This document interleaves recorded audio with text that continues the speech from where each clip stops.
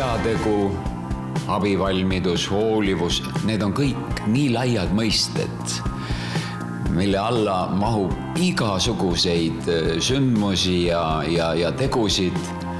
nii et ma arvan, et need kümme, kes nüüd lõpuks äh, sõelale jäid, need avardavad Eesti inimeste mõtet heategemisest ja, ja abivalmidusest.